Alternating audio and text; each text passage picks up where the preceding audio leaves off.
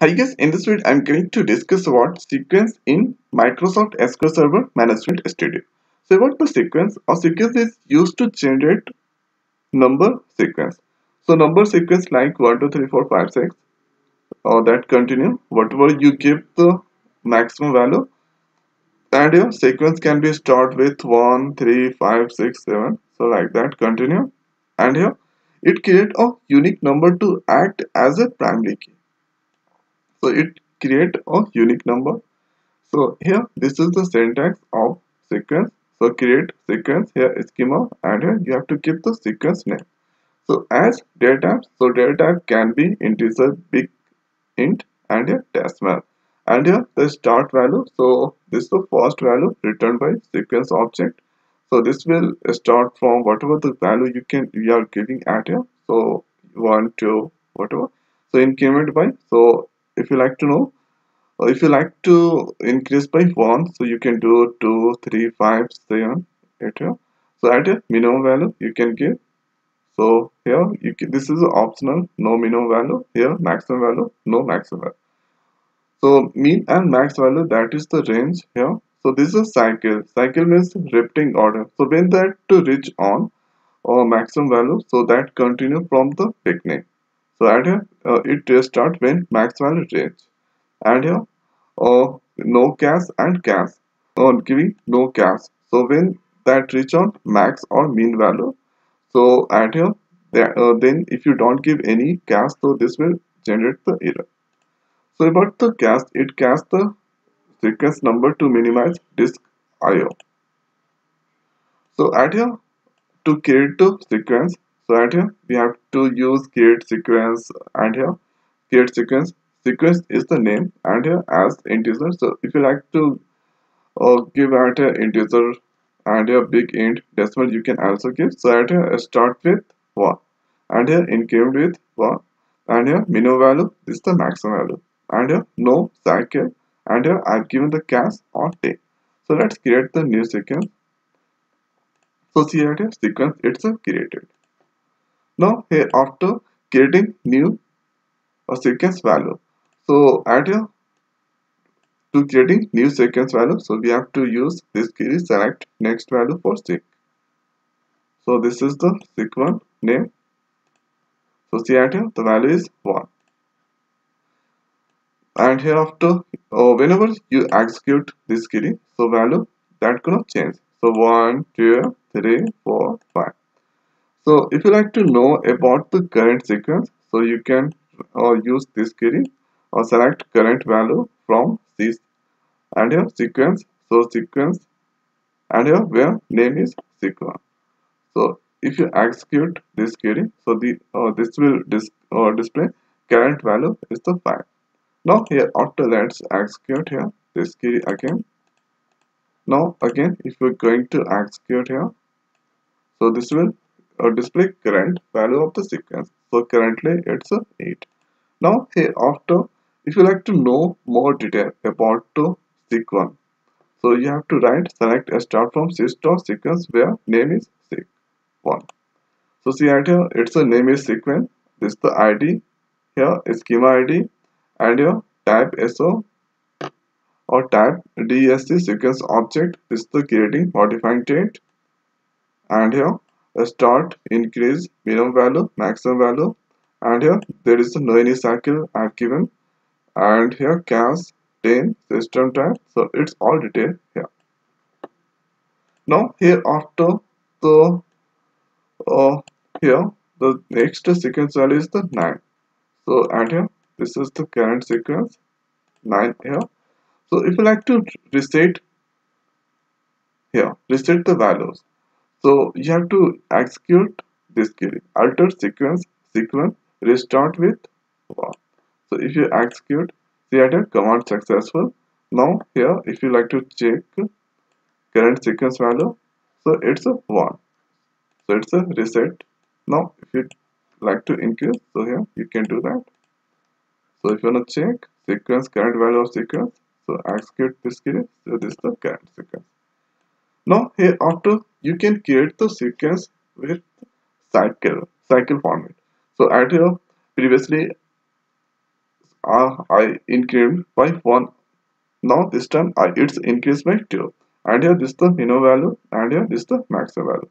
And here this is a cycle and here given the cache 10 so let's execute this query so and here it's already so let's give add here new name like seq3 and execute this again. So command completed successfully. Now here after let's execute here first seq3 now here after let's execute. So this is a start with one. Here if you execute this query so this will increase by 2 so this is now 3 here after 3 plus 2 5 here 7 a 9 here after when that maximum value is at here set 9 so when that reach at here 9 so again uh, at here I enable the cycle property. So that here again that start with 1 so see at here it's a 1 so this is enabling cycle format. So 1 2 3 format 9 here so this the things here if you are like to use cycle format so it will continue like a loop so at here it's a loop formation now here after I'm going to create one table with the name EMP. So EMP is the already exit. So let's the delete this table. So there, there are no any EMP table inside there. So let's create one table. Here there are uh, three columns ID, name, city. So it's the ID. So command completed successfully. Now here after so insert into employee values so next value for sequence so sequence value is this is the sequence here so this is the sequence start with one increment by one this will minimum value one here this will reach this value 9 5 times and here this is the cache. Now here after if you like let's just check first the current value. So current value is at here 3 now here if you are going to execute so first uh, the table is created. Let's refresh that. The name with uh, emp it's created. Now here if you insert this value insert into emp values next value for sequence so see at here one row inserted. Now here let's check the record. So at here it's uh, or displaying 4 because uh, when I executed this current value so it was uh, 3 current value was 3 so at here that's increased by 1 so that it's a displaying IDs for Janssen Manchester.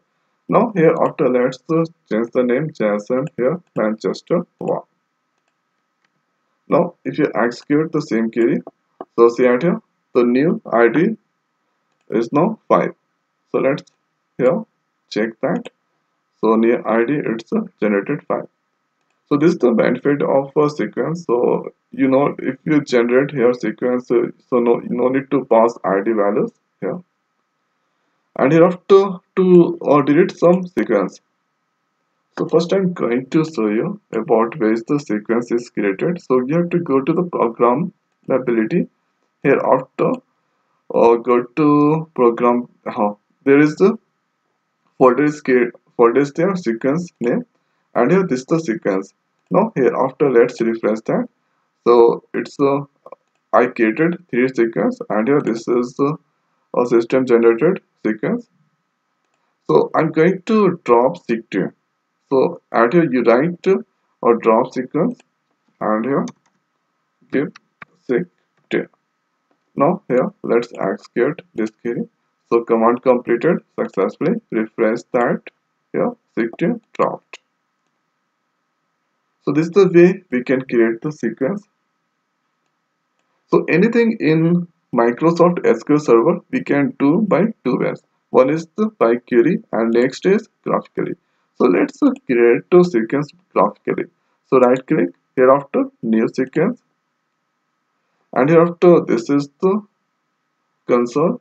So here you have to specify the name. So I'm going to give add here some small name seq4 and here or sequence schema so if you like to browse here you can do that so let's give add a escort now click ok so for sequence you have only this data available. Or 10 tiny int small int int big int decimal so let's give add a integer here. After or uh, this is the start value. So here i'm going to give a start value 1 increase increase by 5 and here. So this is the start value here going to give 1 here maximum. Going to give 100 and your cycle. So if you like to or cycle value you can also enable this property. Now hereafter let's give cache. So if you so if you are going to use the cycle so you should use at your cache. But if you are not going to use at your cycle so when that font oh so if you don't give at a or cycle or if you don't give at a cache so let's uh, use no cache. So when that font enter maximum value after maximum value that will generate the give the error. So that you have to use the uh, size. So you whatever you, value you like you can give at here this cache value. So you can increase by up decrease by down. So at here let's uh, execute. So see at here refresh so one escort dot seq4 it's generated. Now here after let's uh, check the next value. So add here escort dot uh, here seq 4 so this is the sequence name so add here it's the one here. Start with one here six here. It's increased by five. So when that for reach on add here 100 so let's see. So see at here i'm getting the error message. Sequence object 64 has reached minimum and maximum value. Restart sequence allowed new here. So let's go to the properties. And here see so i did not enable uh, cycle properties. So that here it's uh, displaying the error. So when at here let's enable cycle property then you can restart with 1 to 5 like this. So this is the current value it's all displaying here. Now let's click on ok and or refresh that one. Now here after execute this query so see at here 1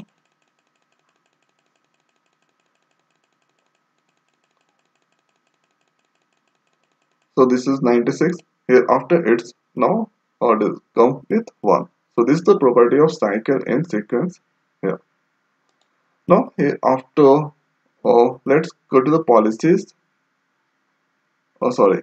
Here after so let's uh, go to the script sequence here create and here new query editor window.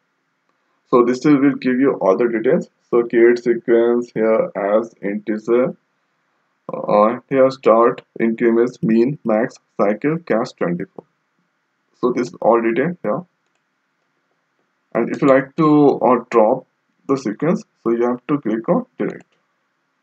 And you have to click on ok. So sequence deleted. So this is the all important point about the sequence in microsoft sql server management studio so i hope guys this video is helpful for you. So now in this video it's over. So thanks for watching. See you next week. Thank you